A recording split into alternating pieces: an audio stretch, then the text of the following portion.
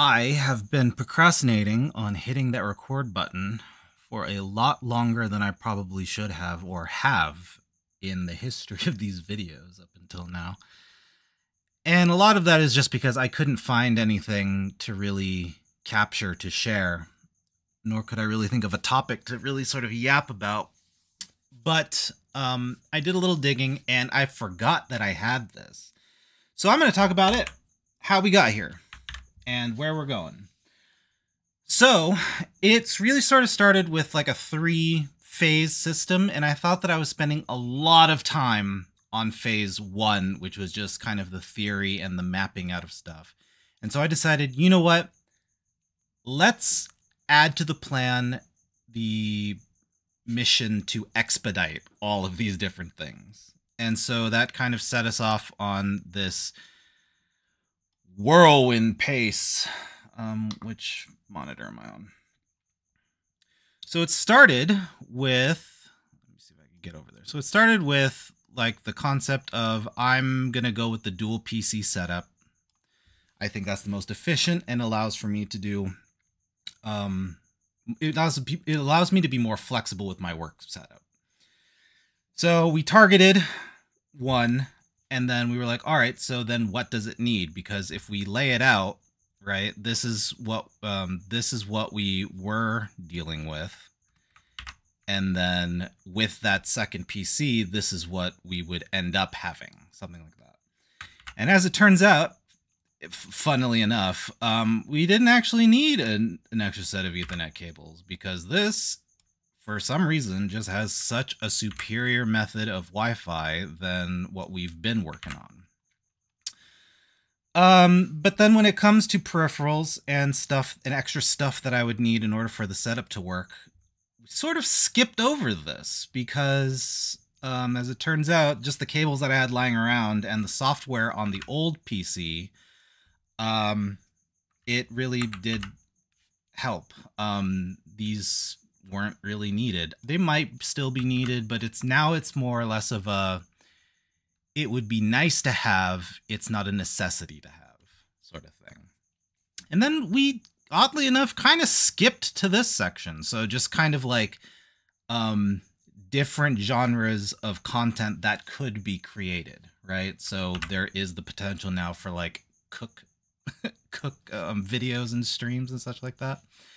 So we the plan to expedite it, I think it worked because now we've zipped past phase one, we've zipped past phase two, and so now I need to sit down and really sort of work out a schedule. I need to work out what the hell am I going to do for content. um, so the schedule is mostly for the viewers. It's just to be, you know, consistent and reliable. And then the content is so people don't get bored and I actually have a purpose there. Um, and so on the idea of purpose, um, the categories once upon a time, I probably amend this at this point, but once upon a time I wrote down so we could do like development type of streams. So like things like what can I make? Um, will it help anybody out there? And can anyone out there help me? sort of thing. Um, and I guess part of that could also be like cooking, because I think a lot of people they they know that the reality is, is that eventually they're gonna have to cook at some point, but a lot of people don't know how.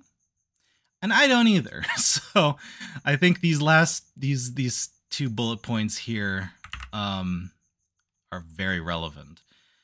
Let's see, VR exploration. Um, yeah, I kind of was doing that with like World Drifters, and I could probably start that up again. But there is some excitement around the release and the ads of some um, new headsets that are out there. So I'm kind of waiting on that a little bit because otherwise I'm still working on like semi broken um, equipment.